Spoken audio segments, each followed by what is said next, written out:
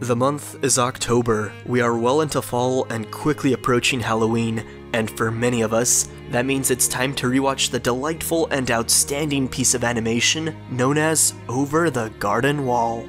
If for some unknown reason you have yet to see it, I urge you to go do it this very moment. It's an elegant tale of great fun and whimsy, but with a strong emotional core at its heart, with wonderful music and scenic design that is to die for. Back when this channel was still very young, I actually recorded a review of Over the Garden Wall, but I wasn't fond of how it turned out and scrapped the video. Now, I think it's time for me to revisit the unknown, but for now, I'll just be setting a foot in and testing those murky waters. In this video, I'll be discussing just one aspect of the show that I appreciated and found really interesting, and that is the tragic circumstances surrounding the character of the Woodsman. He was a man who lived on the forest's edge with his daughter, but after she became lost in the woods, the woodsman ran into the beast in his search for her, and the beast tricked the woodsman into believing her soul was trapped in the lantern. In the epilogue, we see the woodsman return to his abandoned home, only to find that his daughter was already there. She had managed to find her way back home and was waiting for her father's return the entire time he was doing the beast's bidding.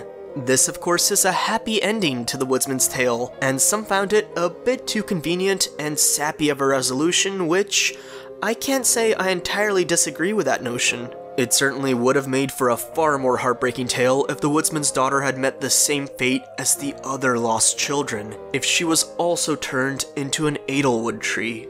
However, the happier ending does manage to provide an additional layer of depth. While the tragedy becomes less sad, it also becomes more dynamic and more entrenched in circumstance, and I personally find that quite interesting. The woodsman, as his name implies, is a man of the woods, but the woods carried more mystery than he alone could handle. The danger of the unknown is the unknown, after all. A recurring theme throughout the entirety of Over the Garden Wall is that things are not always what they seem. Brash assumptions can be quite incorrect. Motivations may not be that clear. Those who are friendly may appear evil. Those who act like friends might hold nefarious intentions. Performing actions with a lack of information and erroneous assumptions can lead to horrible consequences, as it did with the Woodsman.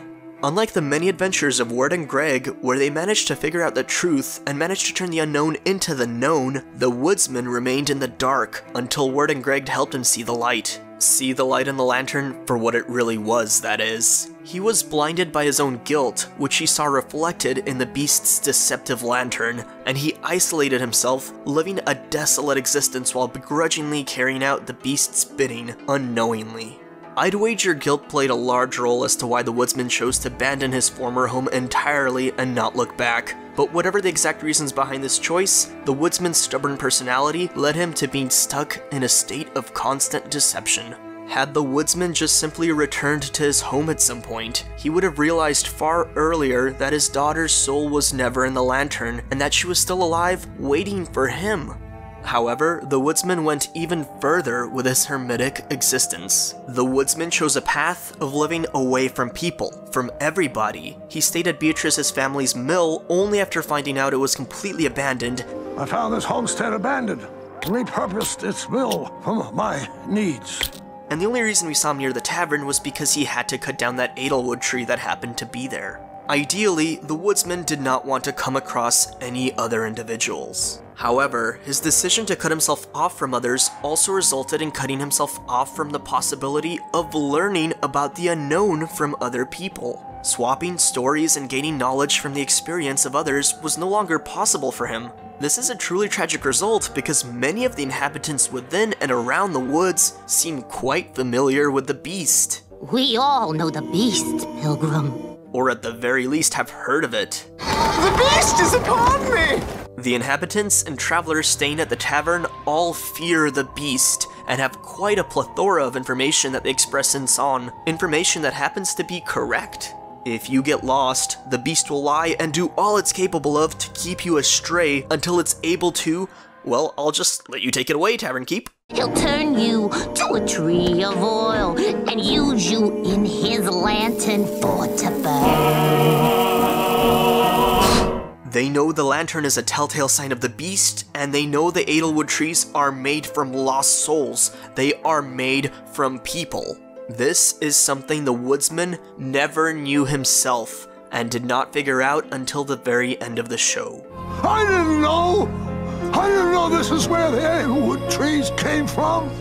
It's sad to consider that if the woodsman merely made the choice to spend a night in the tavern out of convenience, or heck, if the woodsman even turned to drinking and wanted to wallow his misery and drench his guilt in alcohol, he might have gone to the tavern and been coerced into telling his story, which of course would lead the tavern keep and other inhabitants to share their opinions and knowledge, which might have just led to the woodsman realizing he was tricked by the beast long before Wirt and Greg ever crossed over into the unknown.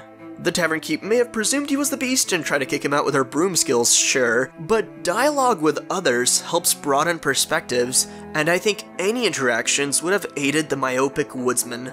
And that is the woodsman's dilemma, the tragedy which unfolded from unfortunate circumstances. The woodsman's own decisions played a part in keeping him from his daughter. His choice of a lonely solitary life is what allowed him to fall astray. The woodsman's own choices played a prominent role in his tragedy. One really can't blame the woodsman for such a decision, though. At most, one could call him foolhardy, but he was a good man with good intentions. The woodsman was legitimately trying to keep others safe by keeping his distance because the beast was always lurking in his shadow. But the road to hell is paved with good intentions, and not until the end of the show does he realize his choices weren't actually helping keep anyone safe.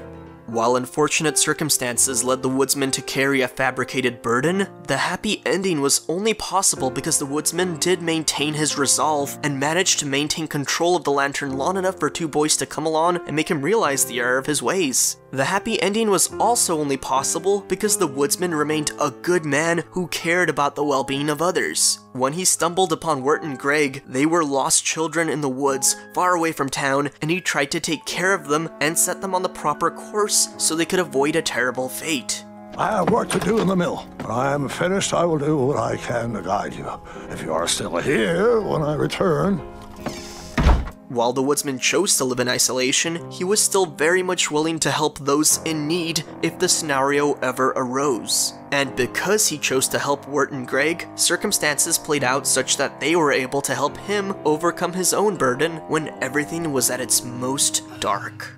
And in the end, that is the reason why I'm okay with the woodsman's daughter having returned home while he was away doing the beast's bidding because it emphasizes that to overcome the unknown, you have to be able to rely on others, not just on yourself. And sometimes, the only thing keeping you from what you desire are your own troubled feelings. And that theme extends to multiple stories we've seen in this beautiful and wonderful show. Thank you for watching. If you enjoy my content, consider supporting my videos on Patreon, and if you'd like to hang out with me while I play video games, follow me over on Twitch. Happy Halloween, everybody!